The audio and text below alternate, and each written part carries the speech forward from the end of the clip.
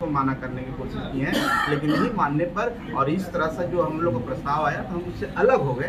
और अलग होने के बाद हम जाके वार्ता हमारी हुई, और वहाँ पर वार्ता हुई माननीय गृह मंत्री जी के साथ, और उन्होंने हम लोग को बताया कि हम आपके साथ हैं, आपकी लड़ाई के साथ हैं और आपके साथ हम चलने के लिए तैयार हैं। तो हमने सहज कहा, ठीक है, हम आपके यहाँ, जब आपकी लड़ाई, हमारी लड़ाई एक है और हम लोग शुरू से इस विचारधारा में हैं तो हम लोग साथ हो लिए बाकी आने वाला समय में पता चलेगा कौन गठबंधन होगा, कितने सीटों पर लड़ेगा, अभी ये सब नमस्कार, आप न्यूज़ फाउंडेशन देख रहे हैं, मैं हूँ आपके साथ वंदना। जीतन राम मांझी एनडीए में शामिल होने के बाद पहली बार अपने आवास पर बैठक कर रहे हैं। बैठक में तमाम जिला जिला स्तर पर, प्रखंड स्तर पर जो नेता हैं, वह इस बैठक में मौजूद हैं। बता दें कि तमाम तरह की चर्चाएँ इस बैठक में हो रही है। वहीं राष्ट्रीय अध्यक्ष संतोष कुमार सुमन ने कहा कि जो यात्रा हम पार्टी की ओर से निकाली निकाली गई थी उस पर जो है वह ज़ोर दिया जाएगा और साथ ही साथ चुनाव में जो भी जिम्मेवारियाँ दी जाएगी उसको निर्वहन करेंगे। साथ ही साथ जिस तरह से इक्कीस जून को जीतन राम मांझी की मुलाकात दिल्ली में अमित शाह से हुई और जिस तरह से चप्पल बाहर जो है जीतन राम मांझी खोलकर अंदर में प्रवेश किए थे, इसको लेकर खूब राजनीति हो रही है। इस पर क्या कुछ?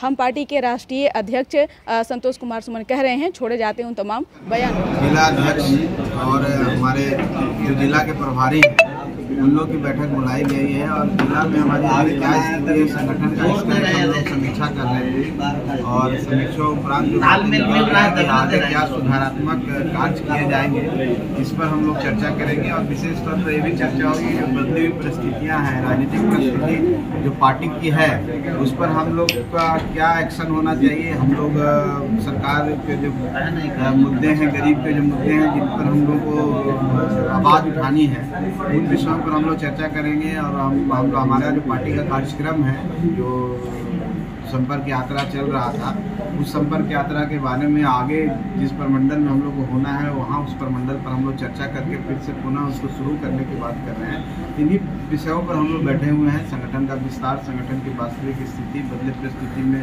हमारे जिला अध्यक्षों का क्या व्यू है? हम लोगों ने इनसे वन टू वन बात नहीं की थी।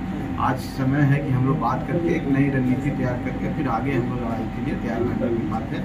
बस इसी की जाए बैठक है। प्रभारियों का, जिला प्रभारियों का और जिला अध्यक्षों का हम लोग एक स्पेसिफिक मीटिंग बुला करके लोग से चर्चा कर एक बूथ पर पाँच लोग रहने की रणनीति बन रही है। निश्चित तौर पर, जब हम लोग को लड़ाई लड़नी है और पार्टी को धारदार बनाना है तो एक बूथ पर पाँच यूथ रहेगा। तो यूथ हमारे जो बहुत ही नौजवान, ऊर्जावान होते हैं तो हम लोग का टारगेट भी है कि हम लोग हर बूथ पर पाँच लोगों को कम से कम खड़ा करें इसकी रणनीति पर भी आज चर्चा होगी। सर्वप्रथम आज बात होने के बाद फिर हम लोग आपको बाद में फीडबैक देंगे, हम लोग क्या हम लोग की रणनीति बनी है। लेकिन आज अभी प्रारंभिक दौर है इस पर हम लोग सीटों पर तैयारी है? देखिए सीटों पर तैयारी पार्टी अगर है तो सभी सीटों पर तैयारी करती है। हम लोग सब सीट पर अपना तैयारी कर रहे हैं ताकि गठबंधन जब किसी से भी होगा गठबंधन के बाद कितने सीट मिलेंगे और न भी मिलेंगे तो दूसरे सहयोगी हमारे होंगे उनको हम कैसे मदद कर सकते हैं इसकी हम तैयारी कर रहे हैं। और हम हमारा ये इच्छा है पार्टी की इच्छा है कि हम लोग सभी सीटों पर तैयारी करें। उसी परिकल्पना के साथ हम लोग बैठे हुए हैं। और आज की मीटिंग के बाद फिर एक दो मीटिंग करने के बाद हम लोग जुलाई के पंद्रह जुलाई से हम लोग निकल पड़ेंगे सड़कों पर और लोगों के बीच पर, जितने हमारे गरीब कार्यकर्ता हैं, उनके बीच में हम अपनी बातों को रखेंगे और संगठन को मज़बूत करने की कोशिश करेंगे। लोकसभा आते आते हमारी तैयारी इतनी अच्छी हो जाए कि हम चालीसों सीटों पर अपनी लोगों को मज़बूत कर सकें और अपने सहयोगियों को सपोर्ट कर सकें और जिन मुद्दों के लिए हम अपनी पार्टी बनाए वो जन जन तक पहुँच सके। इसकी लड़ाई और इसकी रूपरेखा तैयार करने के अब तो एनडीए में है। कुमार जी को कभी खराब नहीं बोले। हम तो आज भी कहते हैं कि नीतीश कुमार जी के प्रति मेरी सहानुभूति है। लेकिन नीतीश कुमार जी के हित के जो लोग घेर चुके हैं, उनको चाहते ही नहीं कि बढ़े, वो चाहते ही नहीं कि राज्य का विकास हो।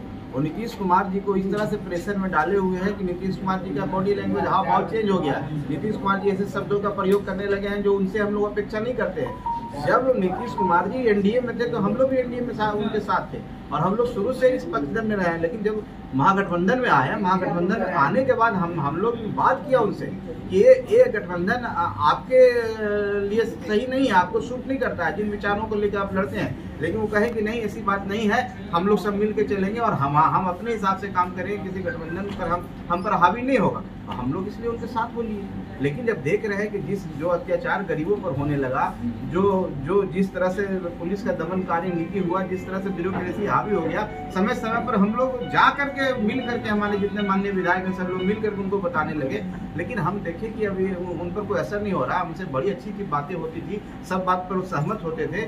लेकिन यही बात जब हम लोग आगे निकल गए, यात्रा निकालने लगे, हमारी पार्टी का बढ़ने लगा, हमारे कार्यकर्ता बढ़ने लगे, गरीबों का सपोर्ट मिलने लगा, सड़कों पर सैकड़ों हज़ारों की संख्या में लोग आने लगे तो उनके आसपास के लोगों को लगा कि पार्टी आगे बढ़ जाएगी। इसलिए नीतीश कुमार जी को इधर उधर बातें होने लगी फिजूल की बातें, जो बातें का कोई तर्क नहीं है तर्कहीन बातें कर करके हम लोग के पास एक जाल फेंका गया, महाजाल। आप हमारी पार्टी में मर्ज कर जाओ। मर्ज कर जाने के बाद हम लोग एक हो जाएँगे, हम गरीबों का कल्याण कर देंगे कर देंगे। हम कहेंगे, हम अकेले रह के भी तो ही काम कर रहे हैं। हम आपके साथ अकेले रह करके ज़्यादा हम कारगर साबित होंगे। हम तो आपको मानते हैं। हम तो मानते हैं कि जंगल राज से आपने इस राज्य को बाहर निकाला है। हम उस नीतीश कुमार को जानते हैं, उस नीतीश कुमार जी को समर्थन किया, लेकिन पुनः जंगल राज योद्धाओं के साथ मिल जाइएगा, उनके नेताओं के साथ मिल जाइएगा, उनके राज्य के साथ मिल जाइएगा तो हम लोग तो हर स्तर पर उनको माना करने की कोशिश की है, लेकिन नहीं मानने पर, और इस तरह से जो हम लोग को प्रस्ताव आया तो हम उससे अलग हो गए, और अलग होने के बाद हम जाके